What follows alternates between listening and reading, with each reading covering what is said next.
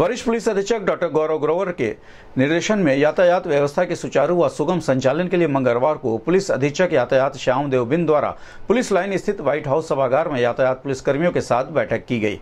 बैठक के दौरान यातायात संबंध में फीडबैक लिया गया। साथ ही आम जनता के साथ अच्छा व्यवहार करने व यातायात नियमों की अनदेखी करने वाले वाहन चालकों के विरुद्ध यातायात नियमों के तहत कार्रवाई करने के संबंध में दिशा निर्देश दिए गए। लेकिन कहीं उसको गलती कर देते हैं।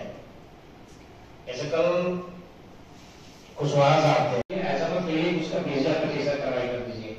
बार बार ये बताया जाता है दिसंबर में, उसमें नहीं अकेले कहा दस हज़ार रुपये हो जाता है। अब उसका दस हज़ार पाँच सौ का चलान कर दीजिए, ये मतलब अनुचित है, ये उचित नहीं है उसमें नहीं अकेले कहा दस हज़ार रुपये हो जाता है। अब उसका दस हज़ार पाँच सौ का चलान कर दीजिए, ये मतलब अनुचित है, ये उचित नहीं है इस चीज़ को क्लियर कट देखो मतलब इतने लोगों से पूछा, सबने दिया चौकी को बता देना चाहिए थाने। कभी कभी ये पब्लिक भी फ़ोन करती है कि दोपहर की, खासकर दोपहर में, कि साहब जाम लगा हुआ है, हमारे जो ये गोरखपुर में यातायात व्यवस्था को सुदृढ़ व बेहतर बनाने के लिए यातायात पुलिस द्वारा लगातार प्रयास किए जा रहे हैं।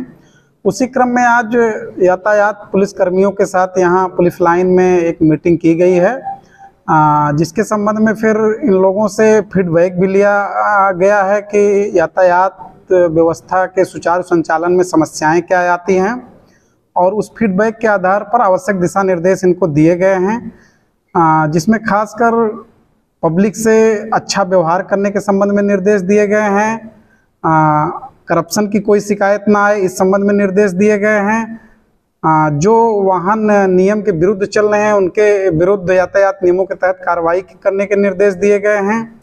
इसी तरह से जिन चौराहे तिराहे पर पब्लिक का प्रेशर जिस समय ज़्यादा रहता है वहाँ पर ज़्यादा ध्यान देने के विषय में बताया गया है। और भी इसी इसी तरह से अन्य अनेक दिशा निर्देश इनको दिए गए हैं। सुगम संचालन के लिए यातायात विभाग द्वारा लगातार अभियान चलाया जा रहा है। इस क्रम में आगे भी अभियान जारी रहेगा? निश्चित रूप से अभियान लगातार आगे भी चलता रहेगा और यातायात पुलिस सड़कों पर उतर के यातायात व्यवस्था के सुचारू संचालन में अपना पूरा योगदान दे रही है।